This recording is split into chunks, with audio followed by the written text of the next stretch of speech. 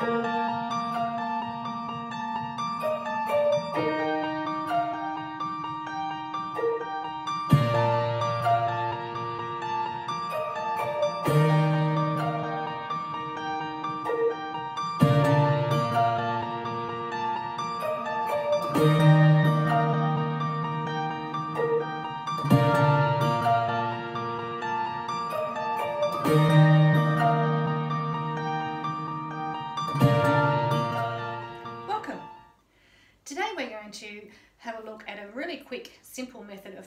Quilt without actually any piecing. So we're going to be using um, glue and glue baste and then we're going to be using sort of a quilt as you go method to put it all together. I'm Helen Stubbings, I'm the designer behind the Hugs and Kisses brand. We've been around since 2001 and specialising in English paper piecing, applique, hand embroidery, a lot of handwork. But we also have a shop quarter inch in Hobart and we appreciate that um, many people just like a quick simple project and we have people that come in of all skill levels so we're going to go through this simple quilt um, that would be achievable for anyone and a great quick gift. You can see the quilt behind me.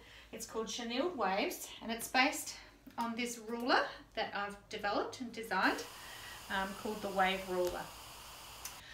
Okay, so as you can see this one's been done in all nice lovely tartans and um, navy blue, so great for a man or a child, a son. Um, or anyone that likes blues of course. It's a lovely range of flannels that came in last year. This technique's particularly suited to flannels and we're using the chenille strips to cover our joins and when washed they fluff up like an old chenille bedspread. The chenille strips come in all sorts of colours. It's pre-cut bias fabric on a roll like this.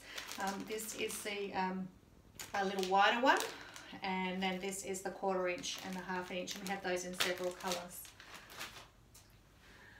So here you can see, this is just a small version of the quilt and this one's got straight edges. Today we're going to be doing one with the curved edges without doing the straight edges on it. So what you'll need are just 10 inch squares, so it can be a layer cake um, or a 10 inch charm square pack, or you can cut your own 10 inch squares, which works great from fat quarters, if they're Australian size fat quarters, or skinny quarters, which is 10 inches by the width of the fabric. Today I'm using my Basically Hugs flannels range. So these are my own fabric designs with P&B Textiles. And they're from the Basically Hugs range, but they've been put out in flannels and they're gorgeous and soft. And there's 24 different fabrics in the line. So I'm making a quilt with 24 blocks. Okay, so it'll just be a small little a little quilt, a floor quilt for a, a baby or a toddler or a, a little tiny lap quilt. Of course, you just add more squares and you make your, your quilt as large as you like. So as I said, it's based on this chenille wave ruler. And when you buy your ruler, it also comes with little basic instructions here. Um, and it comes with the protective backing paper still on the back. So you do need to peel that off. We leave that on there so during transit your ruler doesn't get scratched.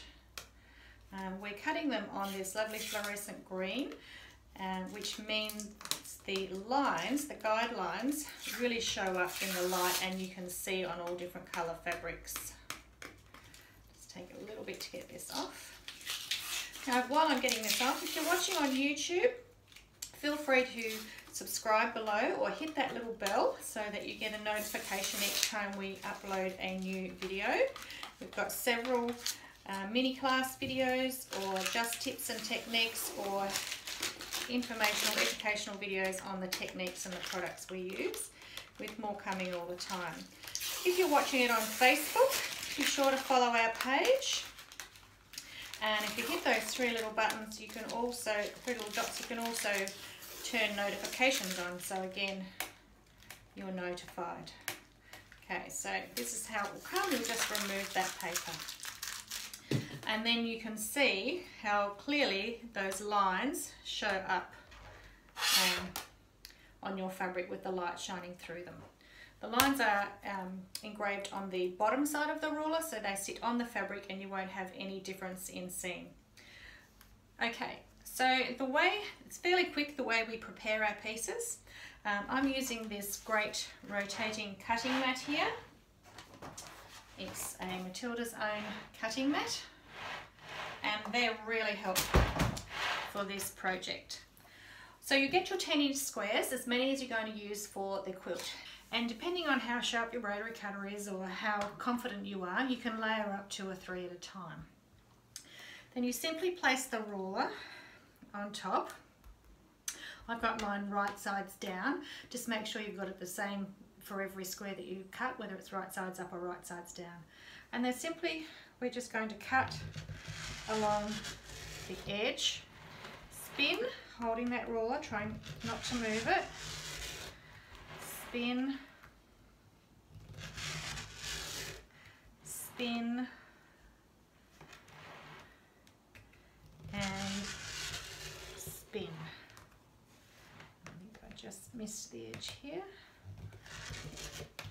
And then your outside edge should just peel off. Oops, I really need a new blade due to isolation. I don't have one here. Okay, and there's your edges gone. And there's all your pieces cut. Okay, so do that with all of your squares so you've got them all ready to go. Next, I've cut my backing and my batting to about four inches larger than what I know my finished size is going to be. So I've got four blocks by six blocks I'm going to do, so that makes 24. Um, they started at 10 inches, so I just calculated 40 by 60 inches. They are going to cut down a little bit, plus we overlap them. Then you can either use a fusible batting if you can find it, or if not, then we will spray baste our batting. So I'm just using um, 505 spray and some poly 80-20 poly cotton thin batting here today. So I'm just going to quickly spray. It's just enough to hold it all. So I'll smooth that out. And then you would work your way all the way down the quilt doing that. until you've got that all basted. On the top edge then, we're going to take our cut squares and again, I'm going to add some spray, just lightly, to my batting. And then one by one, we're going to lay out our squares. Now the top one is going to go in the top corner. Just give yourself about a quarter inch seam allowance on the batting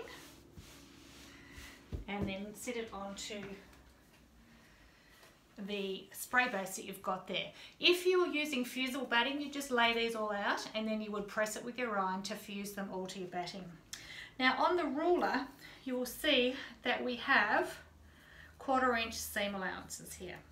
We also have a half inch trim line and that's for when we trim around the outside edge at the end.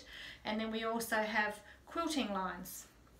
So we have quilting lines, quarter inch seam allowance and a half inch trim line. Okay, so what we need to do is with our second block, we need to overlap it by that quarter inch and you can just use your ruler to make sure that your two blocks are overlapped by a quarter inch as we do each one. I'm just off camera a bit there. Slide across.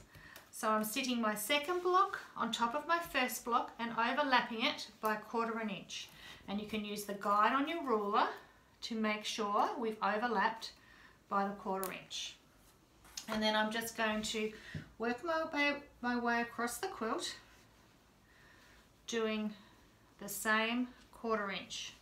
You can use your ruler or you can just use your eye but you need to make sure that you've got that definite quarter inch, minimum quarter inch overlap and you keep it as straight as you can.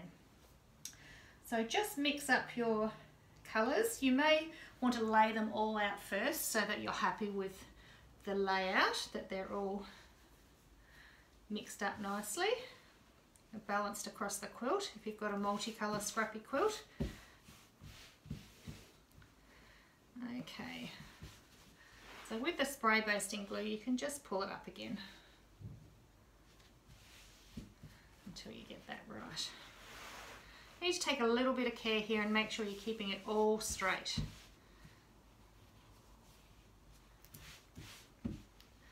Okay, then when we move down to our next row, same thing again. I'm just going to add a little bit more glue.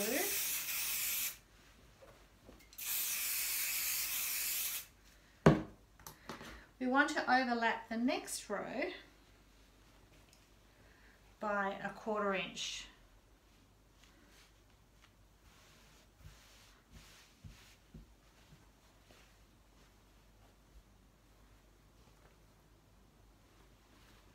And you continue that right down the quilt.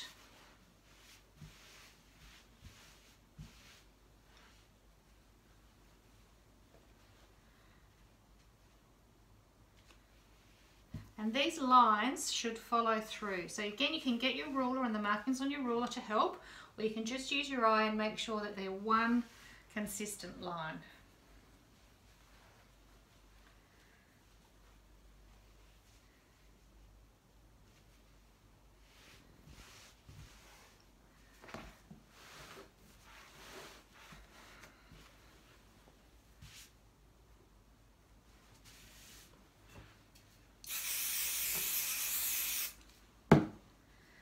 Just need enough glue to hold that for me while I'm quilting, putting it all together.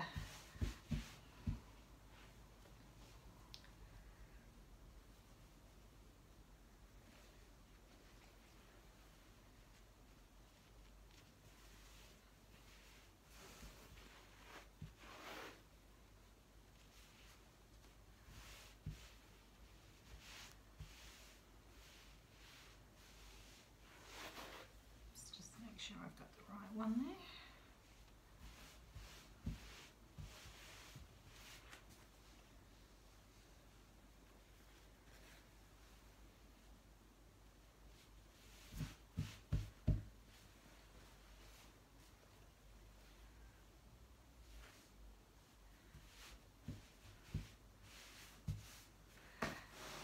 continue working down.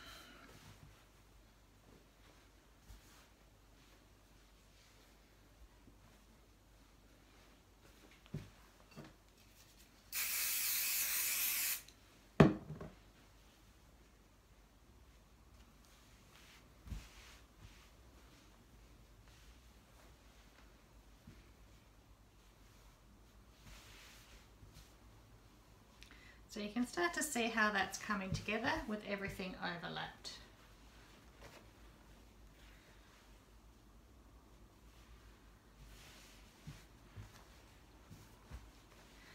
Okay, so I will finish the rest of that later. Now we're going to come back to the next step. Now you can see my edges of this quilt are going to be curved, just like the curves are here. If you wanted straight edges, like the one behind me, you use the lines on the ruler. So there's a half line and then there's a quarter line. So you use those to cut your blocks apart in half.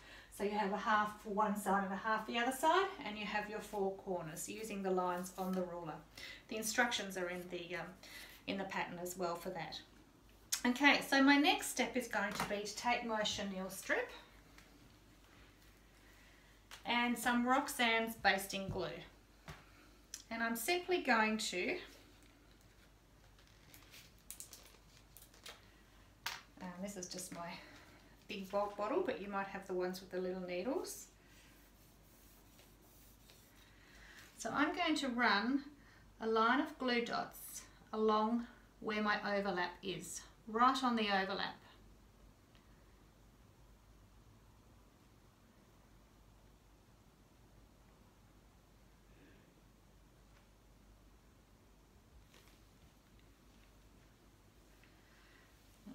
and then with my chenille strip I need it to cover that overlapped seam.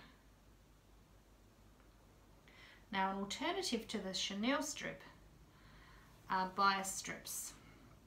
If you've pre-made your bias strips using either a bias maker or a, a Sachatool, then you would glue them down in the same way.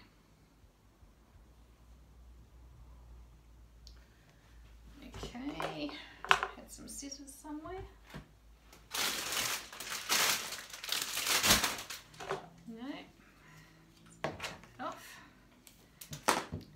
So now I would put my chenille strips down every single seam that I've glued down. And once that's complete, I'm going to take it to the sewing machine. So let me pop back later once I've done all of that and I will show you the next step. Okay, so I've glued on all of my bias strips, all my chenille strips, and then I've actually just gone over with an iron and heat set that Roxanne's glue so they're nice and firm. So when I take it to the sewing machine now, um, it should all hold together. So we've glue basted the fabric both sides of the batting, or we've used fusible batting, and then we've glued on our chenille strips and we've just heat set that with an iron. I'm going to go to my sewing machine now, and uh, which is not set up here on the camera, so I'll come back in a minute. And I'm going to stitch down the center of each of my chenille strips just with a blending cotton thread and a straight stitch. And I'm going to make sure I catch both edges of the fabric underneath, okay? Um, I've just used a narrow chenille strip today because it's all I had home in isolation, but I probably would use a wider one, or as I said, that binding strip. If you don't have the chenille on hand or you don't want to wait for it to come, then you can make yourself um, a half inch binding just with a binding tool like this or a three quarter would give you an even wider allowance and you can use any of the Sachatools. I made this one with um, Pauline Rogers Sachatools, three quarter inch Sachatools. And if I was putting those over my seams, then I, am going to stitch down both sides of the sashing strip instead of just down the center of the chenille strip. But that will give you a, a cleaner finish. It won't give you the chenilled finish that we're going to get with what we're doing today. So I'll be back soon once I've quilted. Oh, one more thing. While I'm quilting, while I'm quilting down my sashing strip, also on my ruler, I've got these lines here for quilting. So if you have a hopping foot on your machine or even a walking foot you can do it with, you can line this line up with the row before and then run, if I can come back here, and then the edge of your foot would come along the side here and you just keep moving along as you move it through and you will quilt the two lines down the center of each block in both directions. Okay, and it's got instructions on here. Um, use the dash lines for ruler foot quilting or use the solid lines for marking, marking your quilt lines and hand quilting afterwards. Okay, I'll be back soon once I've got it all stitched down and quilted up.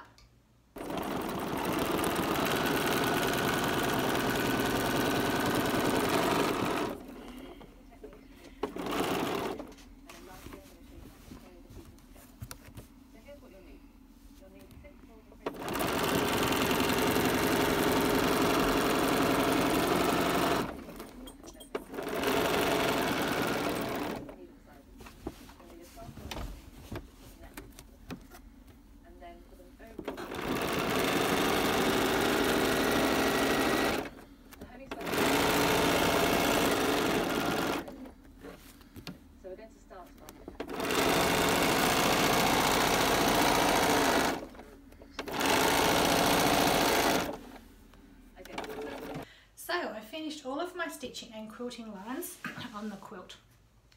With a walking foot, I stitched down the center of each bit of chenille and then I took my ruler and I placed the um, quilting line on the edge of the chenille tape.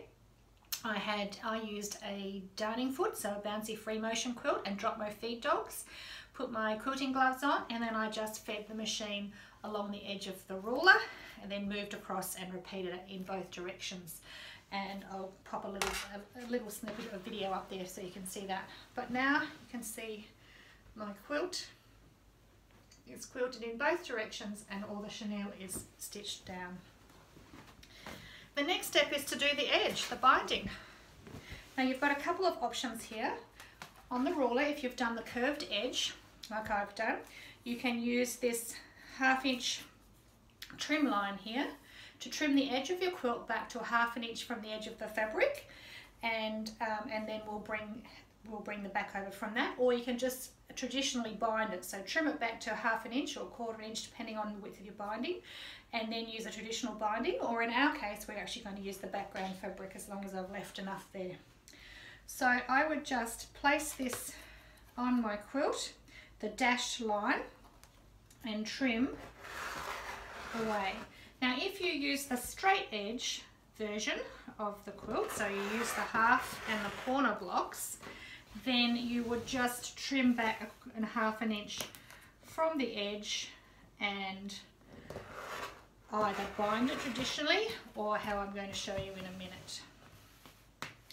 Okay, I haven't actually left quite enough there.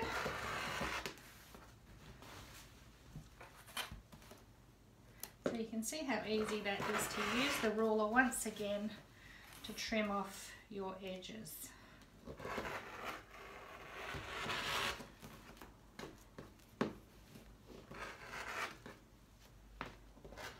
see what a nick in my ruler.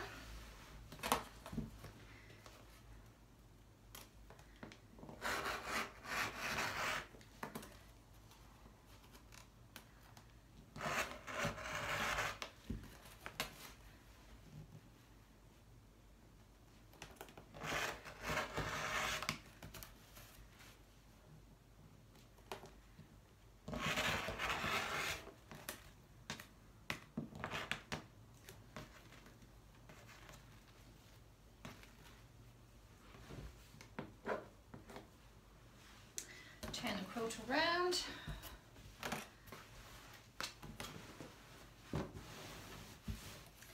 Do our other two edges.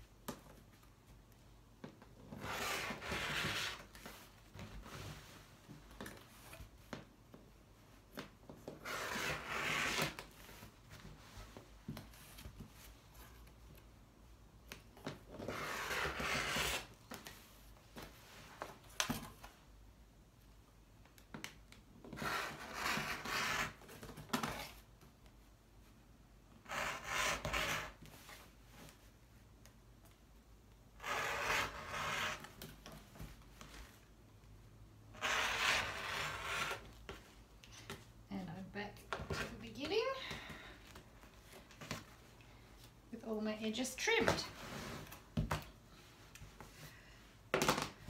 So what I can do now is bring the back over to the front.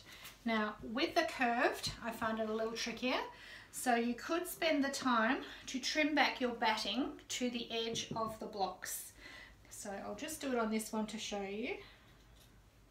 Carefully so you're not cutting the underneath. You're not cutting the backing fabric at all, you're just cutting the batting back. Okay, I'll do a bit more down here as well. Just enough to show you. I'll just move that into the camera. So then I'm going to get my iron.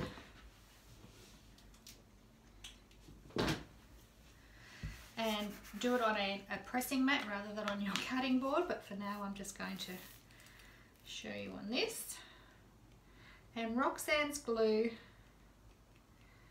along the edge of your quilt top. And then with some steam in your iron you're going to bring the back over and just glue it onto the front.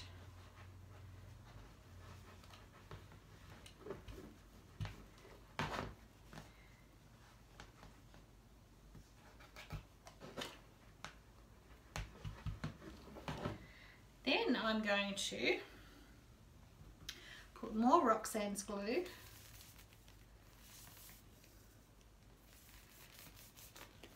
bottle is nearly empty. Along the edge. And again glue down our chenille strip.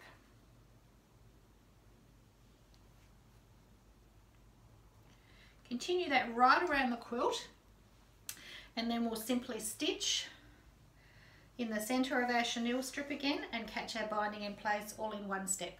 So it's actually the backing fabric that's been brought to the front to make the binding. I'll continue and finish that, stitch it down and come back and show you how it looks. And here we are back with our finished quilt. So you can see this lovely, soft, snuggly little quilt with our nice fuzzy chenille strips on there, making it lovely textural and fuzzy, but nice and soft flannels here to snuggle in. So I washed this in the washing machine with a towel and then I actually dried it in a dryer with some woolly dry balls because it was um, too wet outside to get it done for you. And um, it came up lovely and soft and textural like this. And there's your finished quilt made in well certainly in a day um, actually within a few hours. So um, a great technique that you might be able to play with and expand and use many other types of blocks and fabrics with we do have the full kit for the quilt um, pictured below. Or we can do you a kit in the Basically Hugs flannels, or we can just do you a 10 inch charm square pack in the flannels ready for you to make your own or just use the flannels in a different way. We have various colours in the chenille or you might choose to do the binding instead if you don't like the chenille method but the method works the same. Of course you can also just order the wave ruler which comes with a little instruction booklet on how to use it. So I hope you've enjoyed learning something a little different and perhaps just for a change if you don't like, um, don't want to do any piecing, but you've got a nice big table and you'd like to have a go at a glue quilt basically, then the chenille wave quilt might be just something right for you. Thanks for watching. Remember to subscribe to that channel or follow our Facebook page um, because there'll be more little classes coming. Bye for now.